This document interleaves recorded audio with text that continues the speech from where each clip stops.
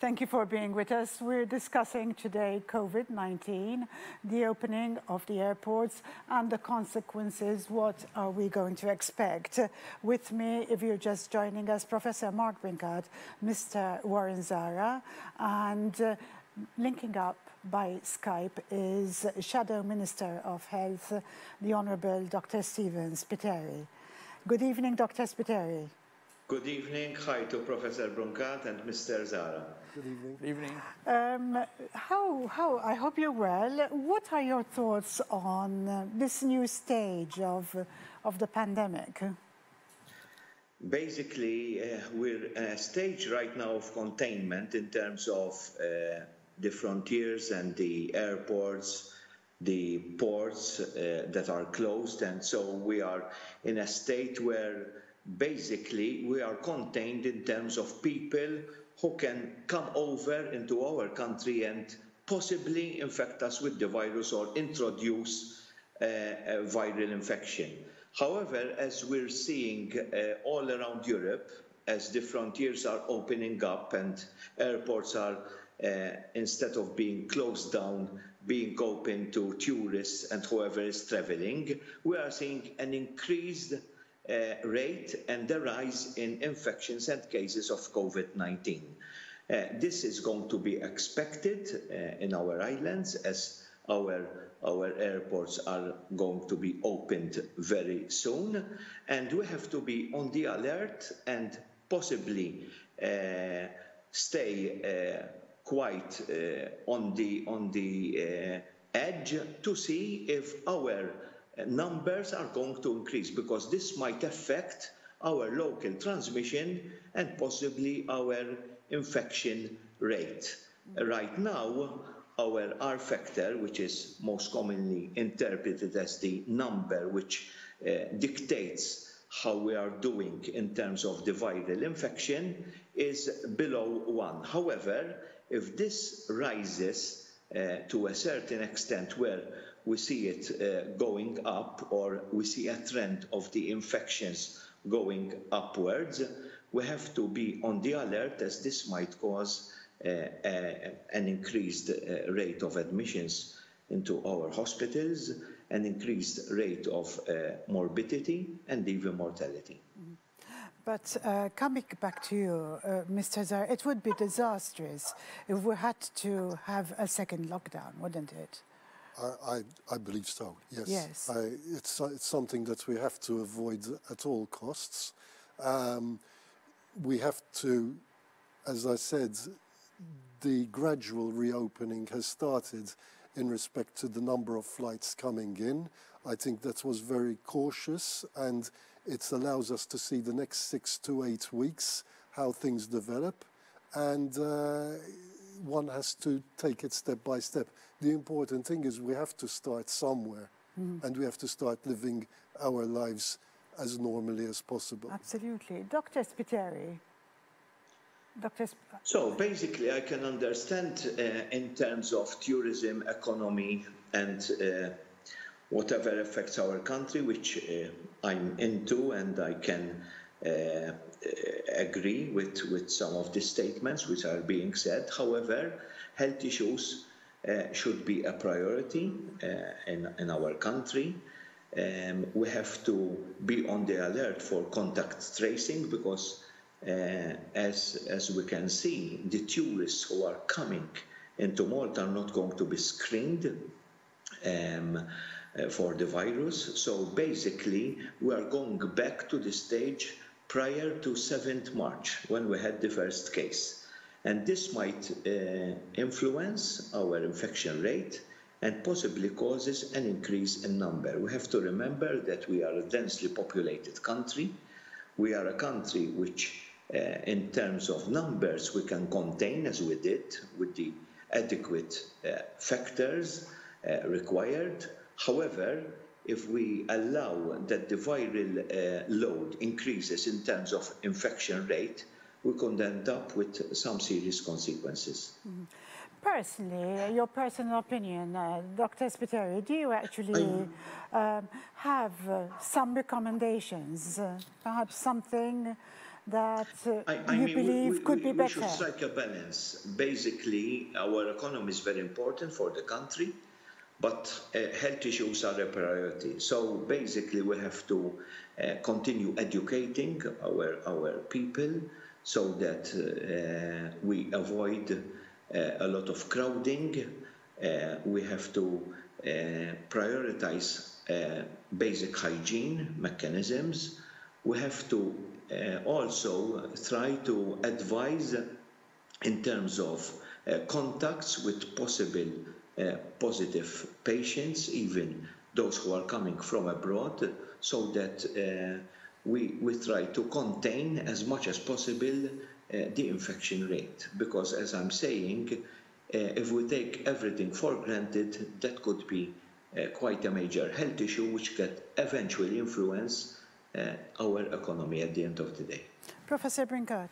Well, as we suggested earlier, in countries which have this high R factor that, that Hospitaria was referring to, I still recommend we test people before they board with the simple pregnancy-like kits, which are not very expensive and can be done very quickly. What we need is specially trained staff, sort of first aiders, basically, and I think this is feasible because. But well, how do how do we get this implemented if, well, if it's a recommendation? As, as Mr. Zahra has just said, we're talking about maybe 600 tourists coming every day, you know, and we test far more than that in Malta, you know.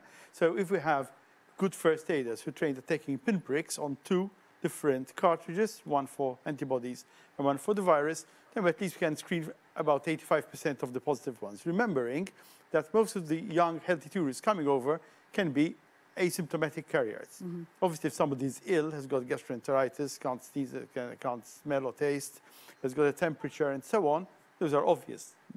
They'll self-select themselves. The problem are these asymptomatic carriers who might be carrying a strain of virus that we are not used to. Um, and these will only be coming from countries where there's a high infection rate, and then you might get a super spreader. But I'm all for testing before they board, and once they're here, being more relaxed about it. And I'm really quite relaxed once they're over because mm. if people become symptomatic here, you know, then you can, we can test them in the usual way that our excellent Department of Pathology and Virology and Public Health have been doing. But I'd rather stop them before they board rather than have them after they board and give them confidence. After all, I'm happy when I'm screened for guns or screened for weapons or, you know, nowadays it's become part of, part and parcel of traveling. Mm -hmm. we never used to do this, but now we are happy. We go through, we test ourselves, and this should be also part of the protocol, a simple test while the crisis lasts anyway. Mm -hmm. Dr. Spiteri, do you agree with, uh, with what Professor Brincat is saying?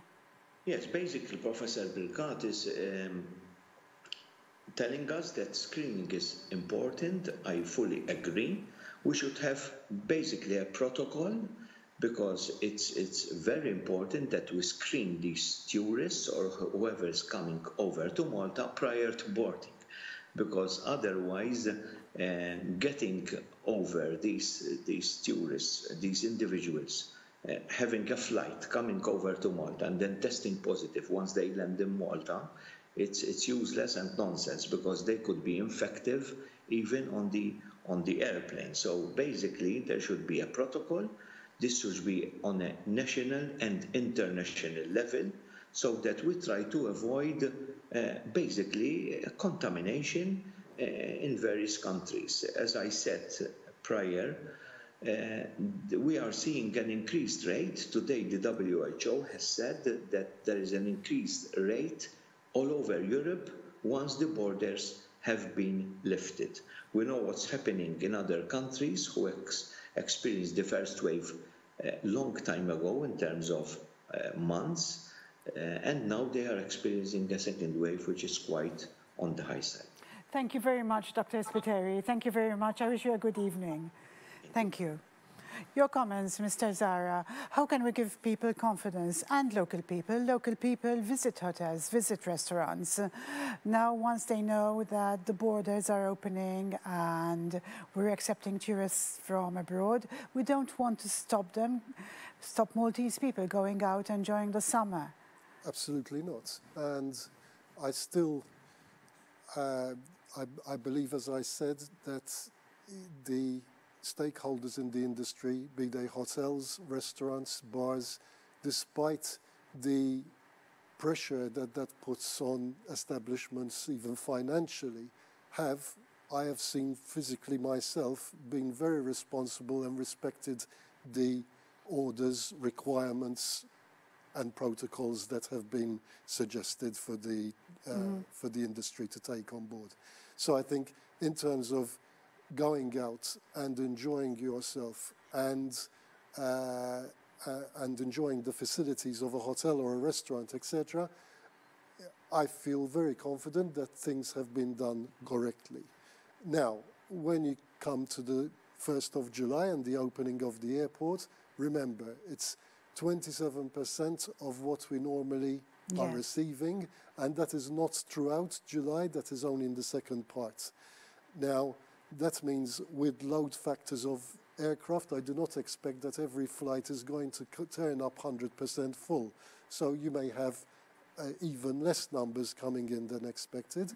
And if the protocols within the establishments are being operated correctly, which I believe they are, Yes. uh, then uh, the social distancing aspects and uh, will will take place. Sure. A question, uh, Professor Brincat. Is it mandatory to wear masks on the aeroplane? Uh, Yes. yes, yes, it is. I just want to reiterate what, what Warren is here is saying. I do agree with him uh, that, that the, the, the uh, protocols are being adhered to. The same applies for hairdressers, restaurants, and hotels. I think it's almost safer going to a restaurant or an hotel than congregating on a beach, for example. You know, especially especially if you uh, if you if you happen to belong to a vulnerable group, because the, the restaurants have really gone to town on on their on their. I have to say, my experience Uh, in the restaurants of since Yes. and the hairdressers, Yes. people are very vigilant. I, Yes. I have to Well, take my yes, hat off to the It, Maltese. I it's co- think. it Yeah. comes Yes. it comes naturally because at the end of the day, all the all the people who are in the industry Mm-hmm. have gone through three four months now of not having any visitors Yeah. coming. Yes. That's that's and and the last thing that we want is to mm-hmm. bend the rules and then end up risk. having Yeah. risk. Mm. So um.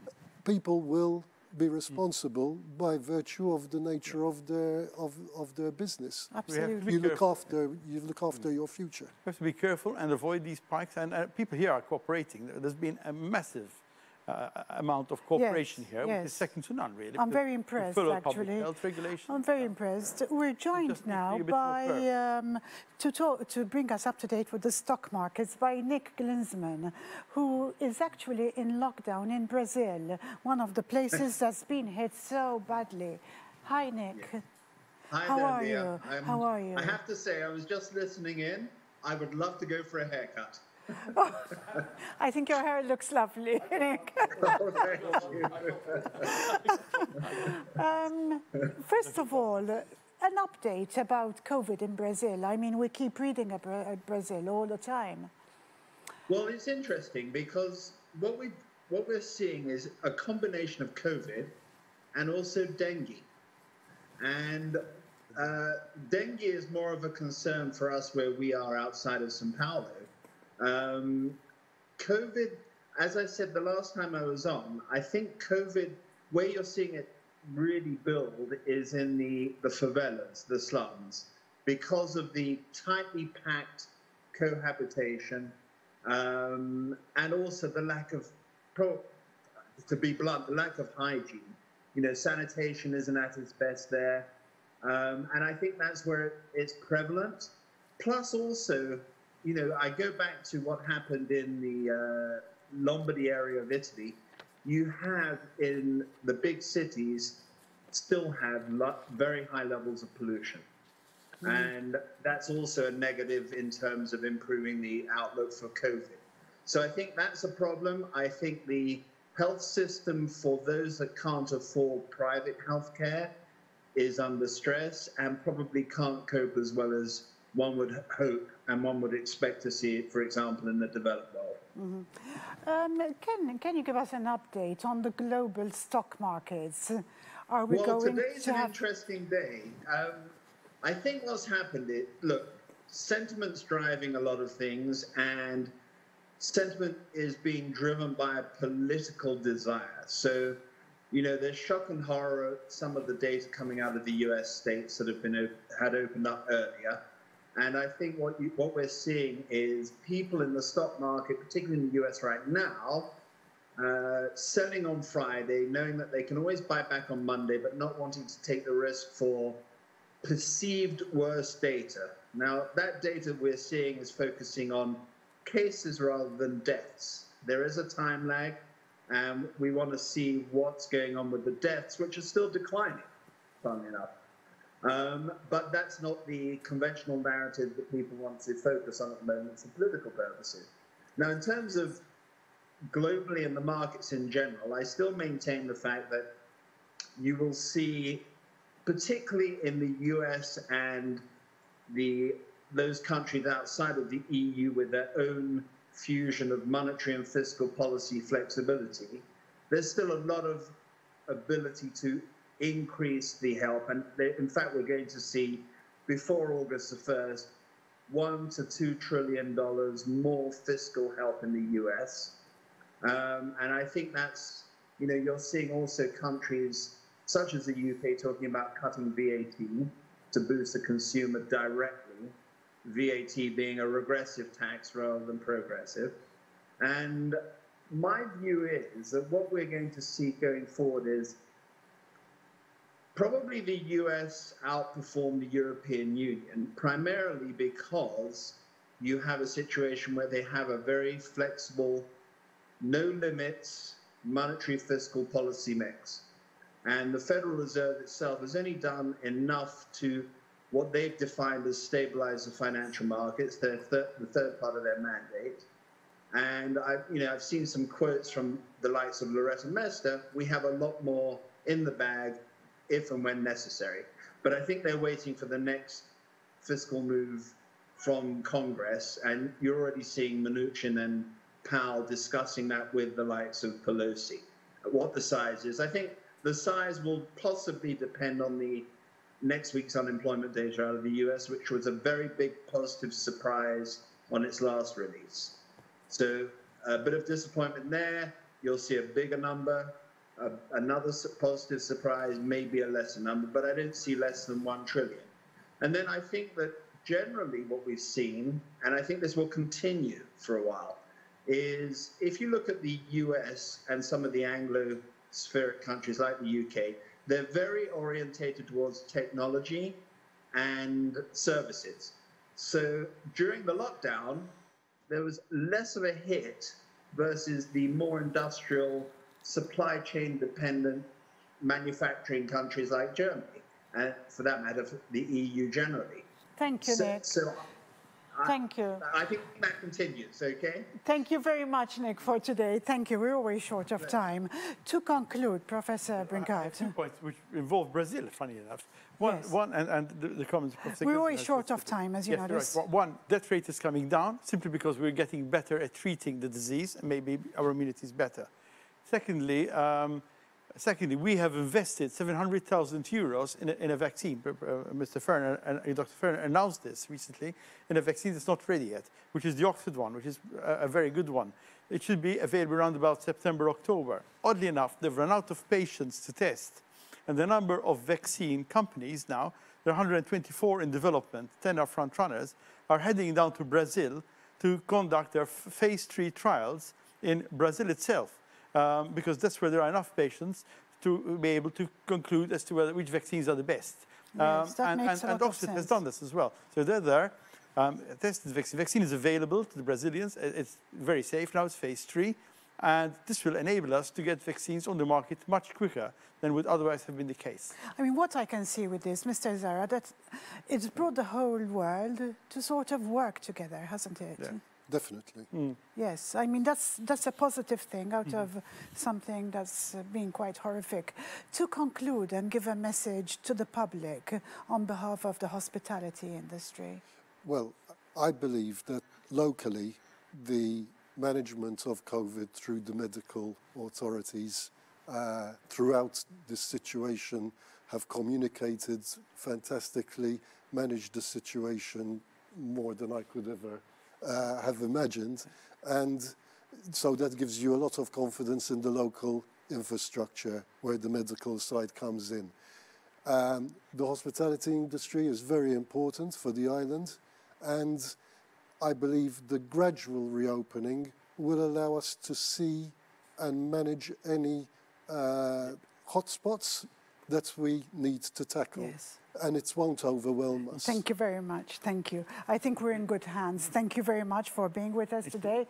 Thank you very much for joining us once again. I'll be with you next week. I thank my guests, Professor Brincat, Mr. Zahra, Professor Lawrence, Christian Hunt, and Nick Glinsman. See you next week. Have a lovely weekend.